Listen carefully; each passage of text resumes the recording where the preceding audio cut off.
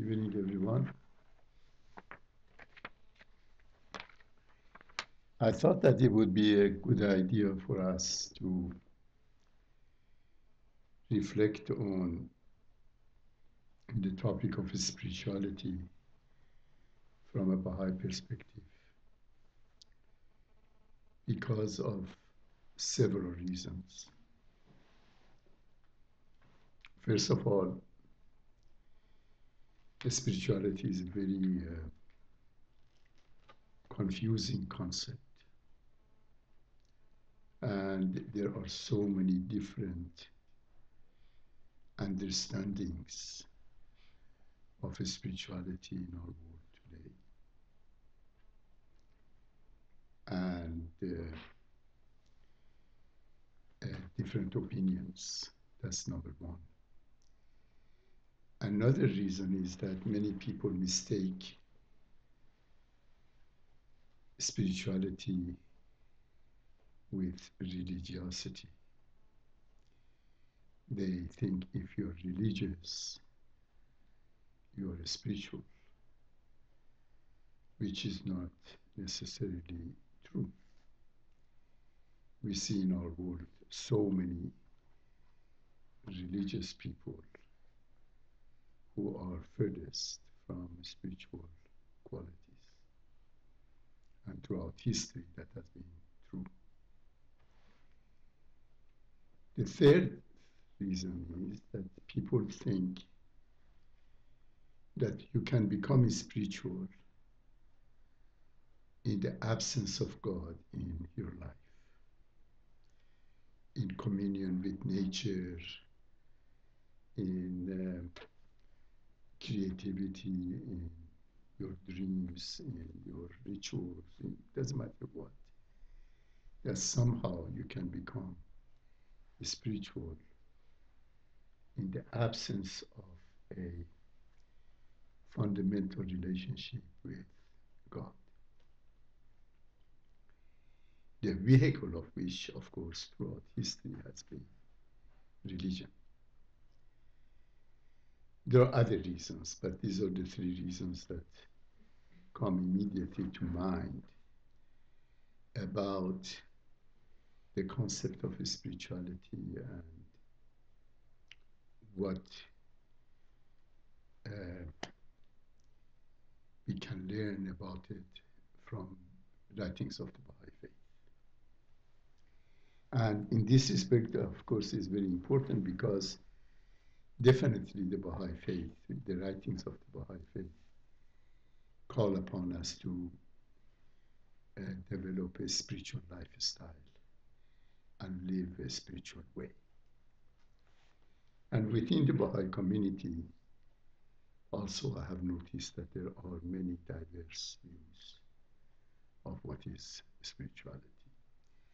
And many people also mistake spirituality with emotionality if you're crying and you're uh, soft speaking and uh, you know tender and so forth, you're spiritual. And if you're otherwise, you're not. And that all kind of notions about spirituality. So, with this in mind, we, uh, I try to share with you some thoughts on what I understand or some of the aspects of the concept of spirituality from the perspective of the Baha'i faith. These are my personal understandings. The dynamics of relationship between God and humanity are continuous and never ceasing and ever present. In other words, whether we believe in God or don't believe in God, whether we accept God, whether we don't, whether we like Him or don't, doesn't matter what. God has created us. God is present in human life. God provides everything for our living and for existence.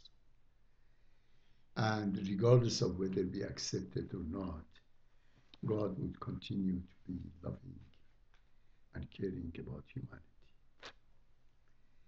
This is a reality. A reality that adolescent humanity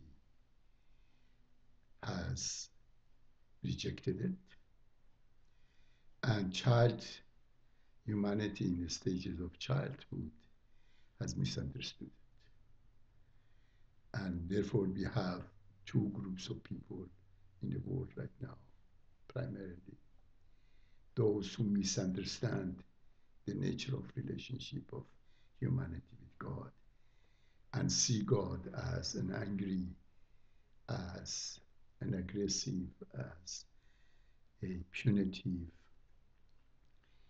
as a violent uh, superpower.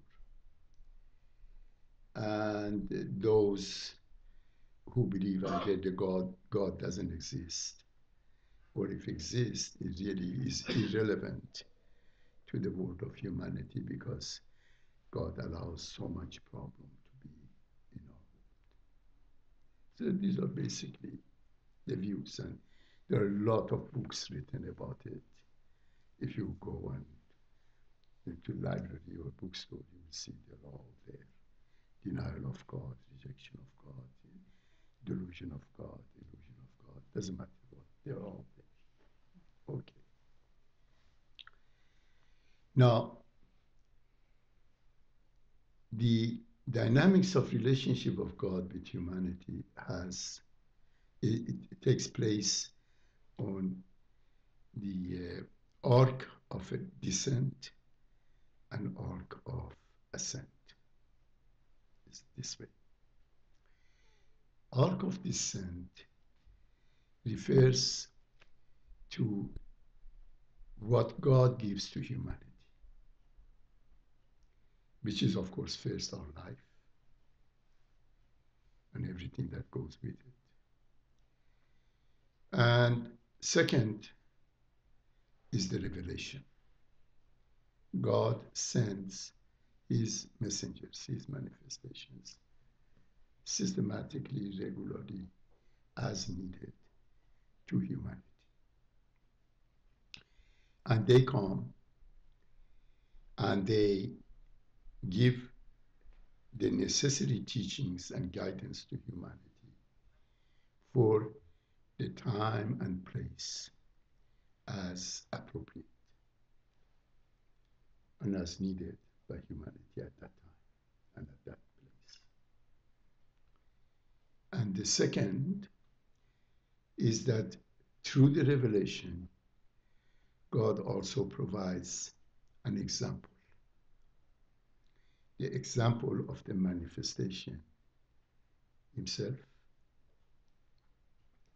and the example of the few unique individuals um, assigned as such by the manifestation as example. For example, in the Baha'i faith, you have the example of Baha'u'llah.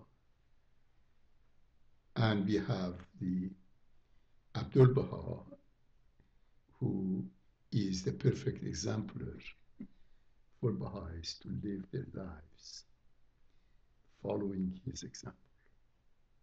Okay.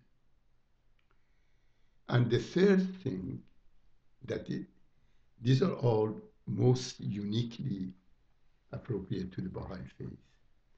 The third component of the arc of descent is the covenant that God establishes through the revelation a covenant between himself, between God and humanity, an agreement. And the agreement fundamentally is that God, through his love, provides the necessary guidance and gives us freedom to follow it or not to accept it or to reject it. And whatever happens after that is the outcome, the result of our response. Okay. So the arc of descent involves revelation, the example, and the covenant. The arc of ascent is the human response to the revelation, which uh, has several components and several stages. The immediate stage is dramatic opposition of those in position of power and authority and the ignorant masses. This has happened throughout history in all religions. That manifestation of God comes, and humanity, thus far, having gone through its uh, collective childhood and now in collective adolescence, has rejected the manifestation and uh, has been violent towards. So what they did to Jesus or to Muhammad or to Moses or to the Bab or Baha'u'llah, to Zoroaster, all of them, it's, that story repeats itself.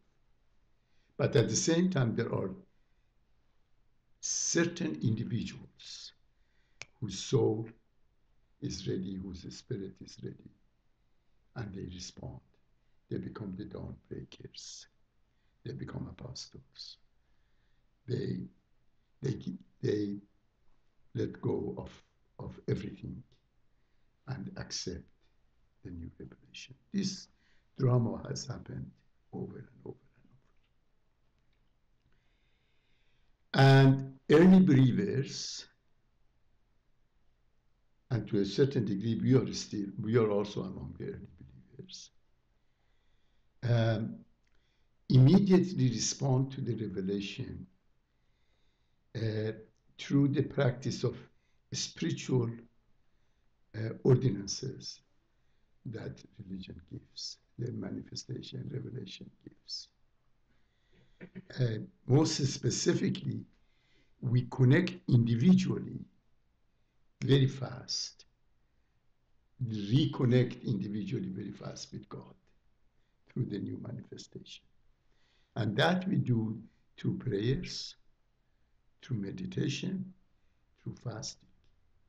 Those are the three major ways in which we as individuals begin our journey on the arc of ascent towards God. Okay.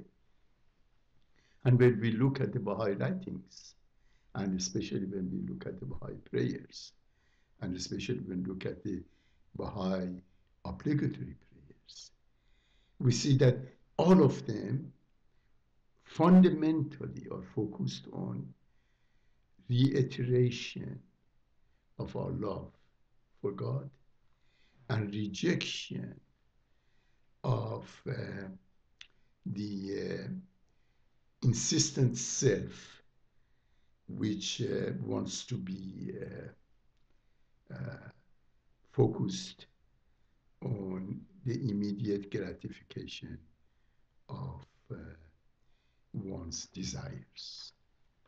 Um, these are physical desires as well as interpersonal desires. So so that, that is the immediate spiritual response. But that response doesn't mean that we as individuals transform. Because transformation has to take place in the level of psyche, in the level of the soul. Psyche and soul the same. And transformation, therefore, has to have an psychological and sociological uh, components. And the new teachings that come is to help us to change our psychological and social modes of behavior, of thinking, of showing emotions and feelings, and establishing relationships and so forth. See? And uh, this process in the Baha'i faith, in order for us to develop this psychosocial understanding and then go through a transformation revolves around the concept of unity. We have to understand unity. We have to be able to create inner unity between our thoughts, feelings, and actions, and between us and life, and between us and other people, and between us and God. And we need to express it in all, all areas of life. For example, we have to develop the concept of oneness. We have to become conscious of the reality of the oneness of humanity. We have to be actively involved in gender, creating gender equality and relating with women and men on equal basis, on other races on equal basis, on other classes of people on equal basis. We have to actively focus on understanding how to bring science and religion in harmony with each other, and on and on. And we have to understand how to create a system of economy that would abolish extremes of wealth and poverty.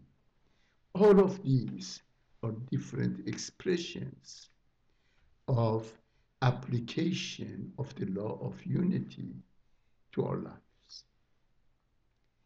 And, and when we look at ourselves, at least when I look at myself, I realize how far I am from this transformation that has to take place. That it's not enough to say, I am a Baha'i and I say my prayers and I uh, fast and I meditate and read the writings and talk a little bit about being friendly and unified. It's not enough. We have to make to we have to bring about a fundamental transformation in our lives. This is the pathway toward spirituality. And that transformation, based on the fundamental concept of unity, is going to take time. It's going to take time, it's a gradual process. Right now, Baha'is around the world are much more influenced by the cultures that they come from than the transformation that Baha'u'llah calls upon us to be. So if you're in a Canadian setting, you're more Canadian than Baha'i. If you're Persian, you're more Persian than Baha'i. If you're Swiss, you're more Swiss, much more Swiss than your Baha'is, and on and on and on. That's a reality because it is a gradual process. That, so the, the first and the immediate is we put that we put into practice certain of the teachings. But the next one is to work on ourselves to transform our thoughts, our feelings, our actions, and bring them into this new mode of functioning. And that one, new mode of life. And that one takes generations. Hopefully, every new generation, the children of every new generation, would be more advanced in this arc of ascent than the ones before. And then again, this is the gradual process. And then there is a slower process. And that slower process is the process of social political transformation, creation of a new civilization. Baha'u'llah has come to establish a civilization of peace. And therefore, that's going to take much longer. It's, we have to first bring about that inner transformation, then that interpersonal transformation within our families and friendships and places of work and so forth. And then we would gradually begin to do the transformation at the political, social level, at the highest level.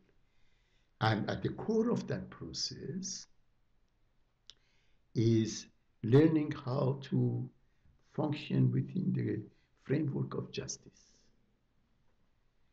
And that's why the Baha'i administration is based on the concept of justice. The Baha'i institutions that run the social life of the Baha'i community are the spiritual assemblies that when they become mature, they will be houses of justice. And we have to have then local houses of justice, national houses of justice, and then universal houses of justice. We are far from that. We are not in that stage. Justice is essential. You see, the human society never has been just. Justice has not existed in human life. Injustice has been always there. And we see it now far more present because we are more far more aware of it, and also we have the far more power to bring about injustice upon others. And the cry of humanity always has been justice. Issues of equality and freedom and all of those fall under the umbrella of justice. And once we begin to administer human affairs within the framework of justice, once we begin to consciously try to become just individuals and to defend justice for everybody and become social agents of justice. Once we learn that, then we would be able to, to go towards the establishment of peace, which first would be the lesser peace, which is the political peace, and then would be the most great peace, which is the wholesome, comprehensive peace peace among nations, peace among races, peace among genders, uh, different genders, and peace between religions. And that's going to take time, you see. So, so when human responds to revelation, our response to revelation of Baha'u'llah, which is the pathway of our spirituality, is, is, has this immediate, gradual, and long-term slow process. And we, we have to be conscious of those and work on all of them at the same time, realizing that one is more immediately accessible, while the others less so, and then others more so. Okay? So that's the process. Now, the, of course, connected with this process, of course, is uh, the way that we have responded to the manifestation and the world of humanity, the way that has responded to Baha'u'llah has been absolutely lamentable. It is most lamentable and the most ominous for immediate life of humanity because the manifestation of God has come for this age. His teachings have come. When people with an open mind listen to them and focus on them, they realize their applicability to the needs of humanity today. But we have totally ignored it. And the, the three groups that have actively ignored it are, of course, first and foremost, religious leaders. They have ignored it. But the second group that they have ignored and is really ominous, are academics. Academics are, is amazing how ignorant they are about the Baha'i faith. It's just amazing when I talk with people who are the PhD in religious studies and this and that. And when you talk with them and you will see they're totally ignorant and misinformed. These, these, are, these are the examples, these are the indications of what is happening in our world today. Uh, because, because of the veils that are there between uh, human mind at this level of its development and preoccupations and the light of the spiritual spiritual center that has come and is there. And then, of course, is the issue of the covenant. The humanity in the past has had a very bad story, bad record of their covenant with their, with their manifestations. Look, look what Muslims did. Muslims broke the covenant between them and Prophet Muhammad the moment that Prophet Muhammad died. The moment he died, Islam divided. Shia and Sunni. And that division has continued. And now we see the expression of it in its most dramatic manner. This is the consequence, consequence of the violation of the covenant of man with humanity, with God. When we violate our covenant, we break our words, we don't follow our responsibility. And here, with regard to our relationship with God, the consequences are ominous. The same happened to Christianity. Just think of history of what Christianity has done in that regard. Think of the dark ages of Christianity. Think of crusades. Think of wars between Protestants and Catholics. Think of what they have done with the schools and with the colonial rules and with the places that they went. Just think of what has happened. And every religion that you go, you see that has been the case. Now, because we are approaching the age of maturation of humanity, Baha'u'llah made his covenant very clear, very specific, and very strong. So that's the reason that almost 200 years are gone, and the Baha'i faith is completely united and will remain united because this is the sign of maturation of humanity. The fundamental sign of maturation in the spiritual realm is the ability to maintain the covenant. If we don't do that, we violate the fundamental law of existence, which is unity. There is no way we can be spiritual.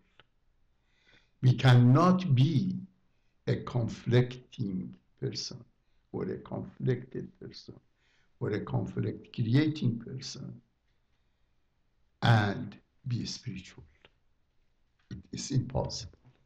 We cannot follow the standards of truth and think that we are spiritual. Covenant requires that we accept the truth and stick with it, even if means that we have to give our lives. And that's what we see with the Baha'is in Iran. That's what we see nowadays. Okay. So that's that's a fundamental process.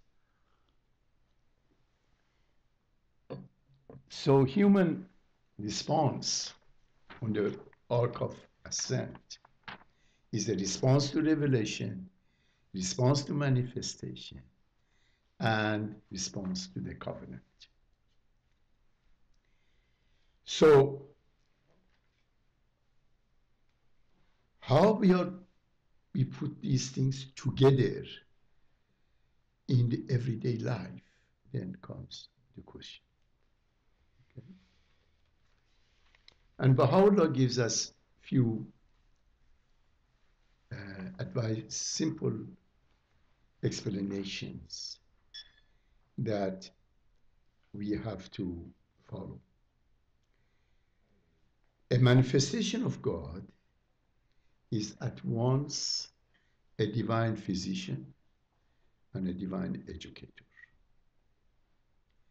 The manifestation of God comes, diagnoses the illness of humanity, prescribes the remedy, and educates us how to use that remedy.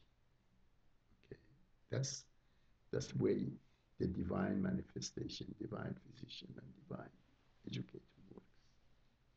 So Baha'u'llah says that we should be consciously aware of the needs of the time in which we live. He said, We exhort mankind in these days when the countenance of justice is soiled with dust. Okay, remember justice? When the flames of unbelief of burning heart and the robe of wisdom rent asunder. These are the conditions of the world. Justice is not there. Unbelief is on ascendancy. And there is no wisdom on the part of the wise of the world. Okay? When tranquility and faithfulness have ebbed away, and trials and tribulations have waxed severe. When covenants are broken and ties are severed, when no man knoweth how to discern light and darkness, or to distinguish guidance from error. This is the condition of our world today. But how not find this guys? This is the condition of the world. Okay? This, by the way, this is exa- is uh, paragraph was from Tablet of Wisdom. So you can go and look at it. So this is the condition of the world. Another way of looking at the condition of the world, because we have to diagnose what is happening in the world in order to, to transform ourselves and help humanity to, to begin to consider a new way of relating to God. Okay. Uh, humanity is suffering from leprosy of soul. See, leprosy is a very unusual disease. Leprosy is a disease in which you lose your capacity to feel with your fingers and your extremities and so forth. You no longer have the feeling. That's the reason that the lepers become disfigured. They break, they cut their fingers, they cut their legs, their nose, this and that. They don't feel it. They don't feel pain. When you don't feel pain, you don't protect yourself. Pain is necessary for protection of self. Okay? Uh, so when we have a leprosy of soul, is that we, our thoughts become distant and indifferent. Our thoughts are not compassionate. Look at the way that uh, economic systems of the world are handled by uh, World Bank and IMF and those countries in Europe right now. You see, they, they say, well, economically, you have to fire two thirds of the employees of the government because there is no money. But what people are going to do? What, what's going to happen to them? They have to live, okay? The phenomenon of what is happening in Greece or many other places happen is when no longer people's intellectual properties and capacities have the ability to be sensitive to the needs of people, to the suffering of people. Emotionally, when we become leper, we don't have compassion. We don't have the feeling of closeness and connectedness with others. We become indifferent. We become indifferent to the suffering of the masses. We focus on ourselves. And when it comes to our decisions, you see, there are powers of human soul, our thoughts, our feelings, our will, our actions. Our actions also become indifferent. We, did, we do things only and only with focus on ourselves and our immediate family and immediate condition. We don't become universal in our, because the, one of the fundamental characteristic of spiritualization is universality, to become universal. and we don't become universal, we become limited. Our universe become very, very limited. So when Jesus treated the lepers, it was those who had leprosy of soul in his time, and he cured them. Okay? We have, you know, people think that it was the medical leprosy that Jesus treated. No, it was the leprosy of the soul. Now the same thing is happening this time. We have a leprosy of soul. It is the most acute form in our world today. And it is in that condition that the revelation comes in order to cure. And we become the agents in bringing the remedy. Baha'u'llah says, Walk thou high above the world of being.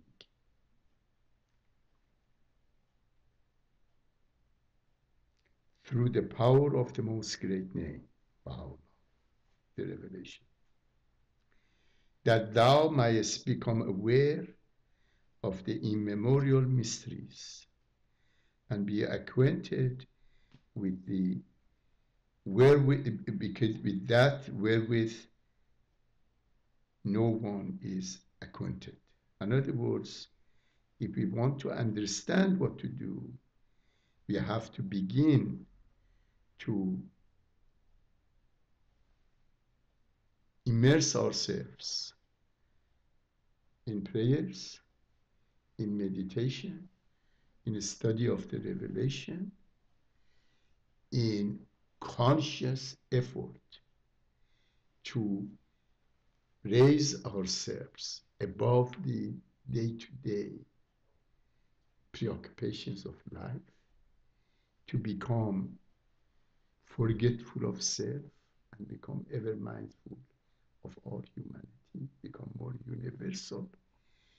And what we do, we have to, to make sure that what we do has that dimension, is, is directed in that direction, is on the arc of ascent. We have to make sure that we don't allow ourselves to get involved in prejudices and in ignorant activities and so forth. And Baha'u'llah said, Be thou as a throbbing artery pulsating in the body, body of the entire creation. That through the heat generated by the motion, by this motion, there may appear that which will quicken the hearts of those who hesitate. In other words, through our thoughts, through our sentiments, through our actions as Baha'is, we have to be able to to develop that capacity